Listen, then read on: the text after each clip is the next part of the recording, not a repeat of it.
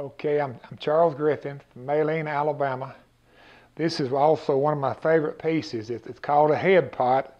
It's the effigy of a little little head, human head, and uh, they were really pretty rare all during that time. There wasn't too many of them ever discovered, but they're highly collectible. Where did that come from? This is another piece from Arkansas.